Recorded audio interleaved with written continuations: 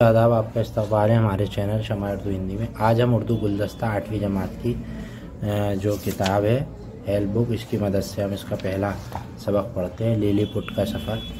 तो थोड़ा सा ध्यान से आप इसे सुने। मुसनफ़ का नाम ग्लोअर है, जो शिमाली इंग्लिस्तान का एक शरीफ ख़ानदान से ताल्लुक़ रखता है। ग्लोवर के वालिद एक मामूली काश्तकार हैं। ग्लेवर अपने पाँच भाइयों में सबसे छोटा है। वालदेन की ख्वाहिश के मुताबिक ग्लेवर और उनके भाइयों ने तालीम हासिल की, आमदनी कम और अखराज ज़्यादा। ये देखते हुए ग्लोवर ने स्कूल छोड़कर एक बहरी जहाज़ एंटी लॉप पर नौकरी कर ली। मई सत्रह सौ पे जहाज़ बहरी जनूब की तरफ़ रवाना हुआ। इस जहाज़ वो जजायर शर्कुल हिंद पहुँचता था। समुद्र की तेज़ हवाओं ने जहाज़ को धकेल कर तस्मीनिया की शिमाल में पहुँचा दिया। मल्लाहों को मुसलसल कोशिशों के बावजूद भी इस तूफ़ान से बचने की कोई सूरत नज़र न आती।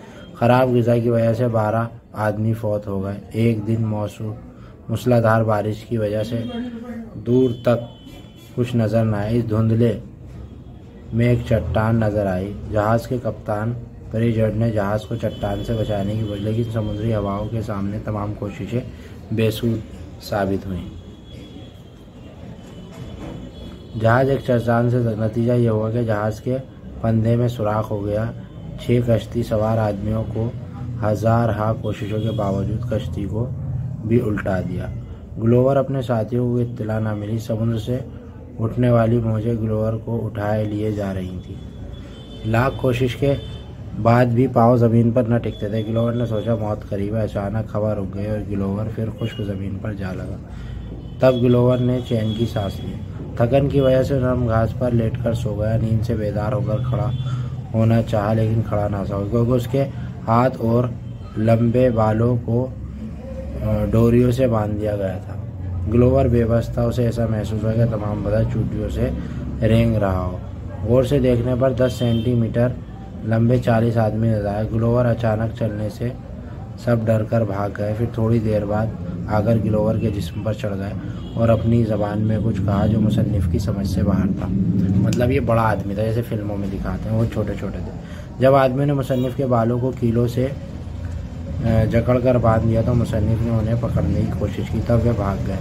मुसनफ़ को महसूस हुआ कि उसके बाजू में सुइयाँ चुभ रही हैं, लेकिन वो सुइयाँ नहीं थी।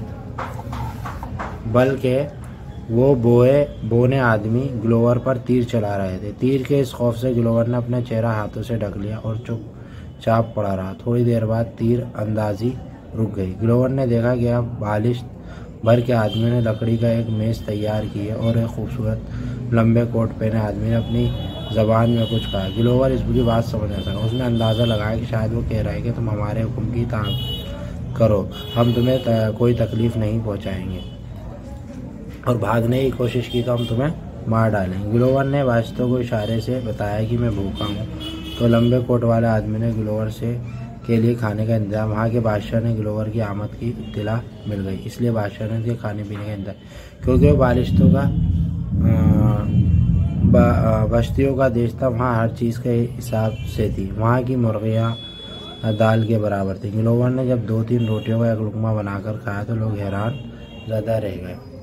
पानी की जगह दूध पीने के लिए दिया गया। ग्लोवर खाने पीने को देखकर इतना खुश हुआ ने ग्लोवर के बदन पर रक्स के महफिल मुनद की और खुशी से आवाज़ में होंगो डूगल के नारे बुलंद हुए। अब इसके बाद ये मशकी सवाल हैं, ये आप देख लीजिएगा। ठीक है? ये मशकी सवाल हैं, खुशकी वाले और ये सब। उम्मीद है कि आपको वीडियो पसंद आई होगी और वीडियो पसंद आए तो प्लीज़ लाइक करिए, चैनल को सब्सक्राइब करिए, हमारे साथ जुड़े रहिए। शुक्रिया।